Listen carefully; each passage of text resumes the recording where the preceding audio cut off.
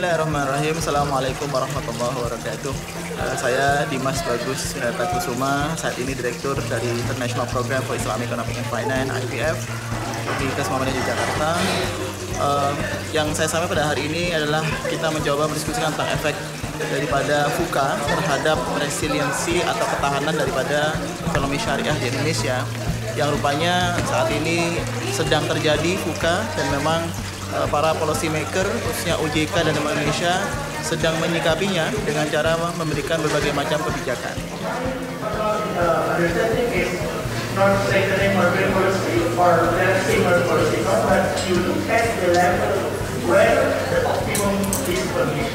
Tadi uh, saya menyampaikan uh, kita perlu membuat sebuah level ketahanan sehingga policy maker ketika mereka mau intervensi mereka memiliki sebuah guidance memiliki sebuah uh, arah kapan dan di mana mereka harus intervensi.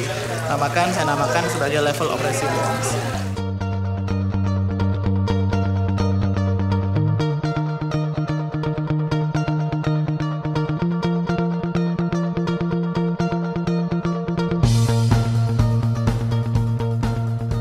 Saya Muhammad Anwar Basori dari Kepala Departemen Ekonomi dan Keuangan Syariah Bank Indonesia.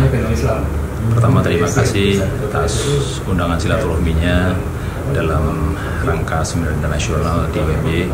Topiknya sederhana, bagaimana menghadapi bagaimana prospek Islamic Finance tahun 2018 dalam kondisi dunia yang sedang fuka atau vulnerable kemudian uncertainty, complexity, sama ambiguity. Ya istilahnya kalau kita bilang dunia yang saat ini sedang kompleksitasnya tinggi, kemudian cukup rapuh dan sangat volatile dan sangat kompleks dan tentunya kadang-kadang uh, ada ambiguity-nya ke depan.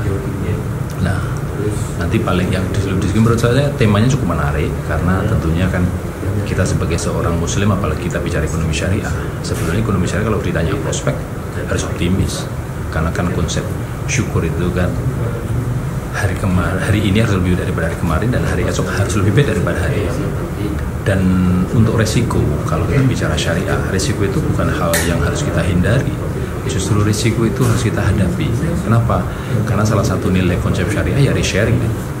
Resharing yaitu adalah kita harus menerima segala risiko di resharingkan jadi kalau ke depan ada suatu ancaman-ancaman baik itu dari eksternal, baik itu dari domestik yang kemungkinan mengenai ada uncertainty, kemudian juga bisnis yang sudah sudah berubah, apalagi mengenai digitalisasi. Jadi nanti dalam uh, apa tayangan yang akan saya sampaikan bagaimana sebetulnya 10 tahun terakhir, 20 tahun terakhir sejak tahun 2000 ada revolusi industri 4.0 itu luar biasa. Bagaimana kalau kita bicara Soekarno dulu kan pernah mengatakan menjadi kita pertama berikan saya 10 pemuda akan menguncang dunia. Terbukti Facebook berapa orang yang memproduksi itu cuman Max itu cuman hama temannya. Bagaimana Google berapa orang Airbnb berapa orang. Jadi menurut saya tidak sampai 10 orang sudah bisa mengguncang dunia apalagi WhatsApp kemudian ada e-commerce ada nanti Makarim dari Bajik jadi menurut saya sekarang konstelasi struktur ekonomi kita gaya hidup kita sudah berubah. Tentunya di level usaha kemudian yang lain itu juga berubah. Tapi kembali lagi kita harus bisa mensikapi dengan baik karena kita sebagai syariah tentunya punya nilai-nilai tertentu. Bagaimana kita mensikapi optimis tersebut dan tentunya ekonomi perkembangan dari FUKA tersebut tentunya akan bisa menjadi sesuatu hal yang bermanfaat. Tapi ada juga yang tentunya ada beberapa kos biaya yang harus dipahami tentunya dengan penduduk Indonesia yang cukup besar muslimnya nanti. Termasuk bagaimana kita bicara ekonomi syariah bukan hanya keuangan tapi bicara mengenai ekonominya bagaimana prospek menghadapi ke depan dan bagaimana sebetulnya ekonomi Islam itu menghadapi situasi yang sekarang tidak menentu maupun ditentukan buka tapi nggak perlu takut kita harus optimis untuk itu.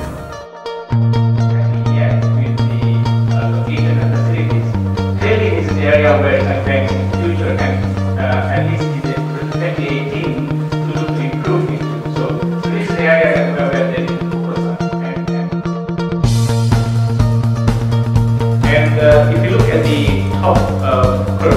find that services, uh, in terms of services, Islamic banks in Indonesia have uh, generally met expectations because we can find that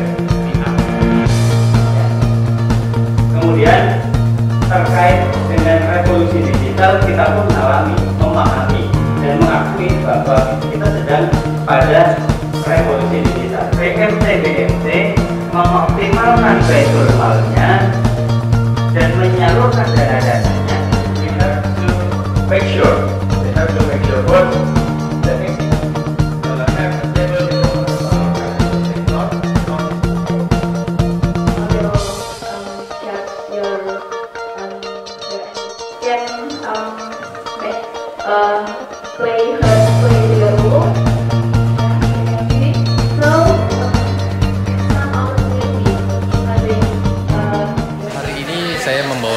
materi tentang the development of Islamic banking and finance in Indonesia and the policy responses. Uh, materinya sangat baik ya menurut saya karena yang pertama sangat relevan dengan mem- membahas perkembangan uh, yang terjadi di perbankan syariah di dunia maupun di Indonesia, kemudian juga membicarakan tentang outlook dan prospeknya di tahun 2018. Eh, saya berharap eh, seminar seperti ini akan terus dilakukan eh, terutama oleh IPF eh, UMY sehingga ke depannya kualitasnya semakin bertambah baik dan eh, ini juga akan sangat membantu untuk meningkatkan literasi masyarakat terhadap keuangan syariah. Terima kasih UMY.